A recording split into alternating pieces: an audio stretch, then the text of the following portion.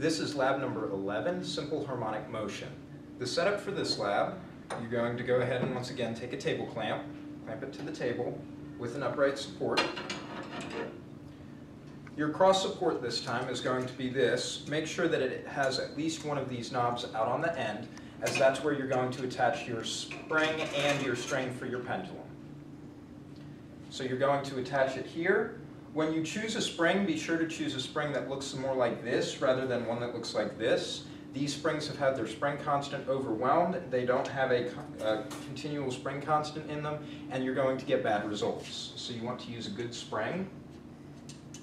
You're going to go ahead and attach the spring here, and then you're going to hang your 50 gram mass hanger from the bottom. You will add mass as dictated in the lab, but when you're actually doing the oscillations for this, pull down like this and release, okay? Do not, I repeat, do not stretch this thing as far as it will go. That is how you get springs ending up looking like this. You're only going to move it a short amount away from its equilibrium point and allow it to oscillate like this.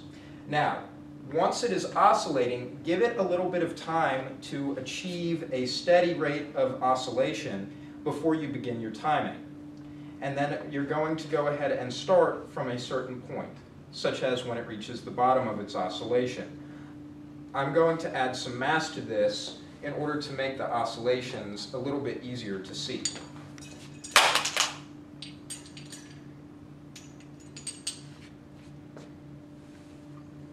So, again, you're going to displace it ever so slightly and allow it to start to get into a regular rhythm, and then start one, two, three, four, five.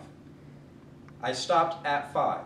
Be sure that the, that the mass oscillates through an entire period and count that. Do not start from a different point, as in do not say one, two, three, because then you only have two cycles instead of three. Be very aware of this. Once you've removed the spring, the next thing that you're going to do is set up a simple pendulum. First, you want to go ahead and cut your string so that it is a little bit longer than one and a half meters. This will give you enough string to play around with as you go about making your pendulum. Once again, you're going to attach one end to your cross support. The other end is going to have your 50 gram mass hanger on it. The length of your pendulum will be measured from where this attaches on your cross support to the bottom of your 50 gram mass hanger. Keep that in mind as you go through the lab.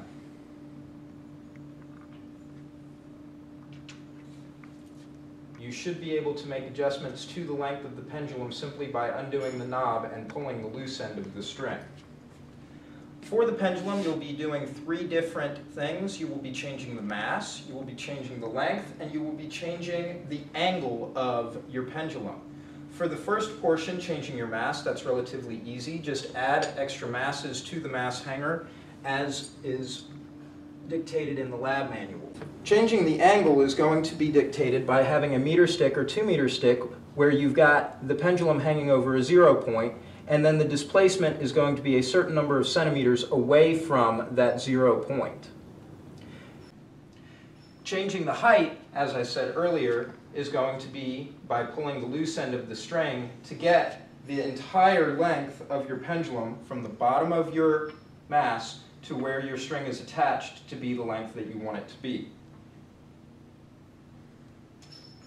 For example, now we are at a pendulum length of one meter.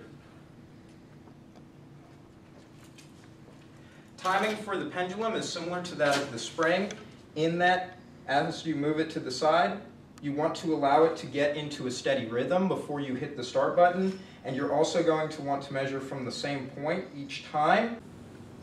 For example, every time it gets to the maximum displacement is one cycle. So, allowing it to get into a rhythm, and then Start. One, two,